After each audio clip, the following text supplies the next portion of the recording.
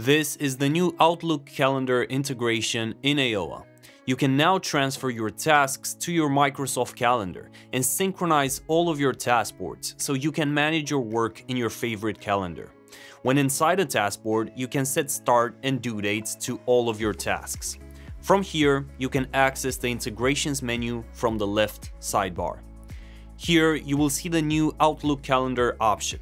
Once you click on it, you will find all of the task boards that you've created within Ayoa. Simply click on Enable Sync to connect a task board to your calendar. You can now see your connected task boards in your Outlook calendar. Click on them to show the planned tasks across your calendar.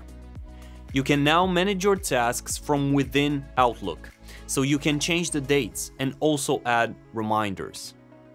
You can then choose to get reminders for your tasks directly inside Ayoa, as you can set as many of them as you want. Or you can opt to get the reminders from your Outlook calendar. You can obviously do both to make sure nothing gets lost. Finally, you have unlimited flexibility when it comes to task management, as you can connect your Outlook calendar and keep track of all of your projects. So if you like this video, you can discover more on Ayoa.com.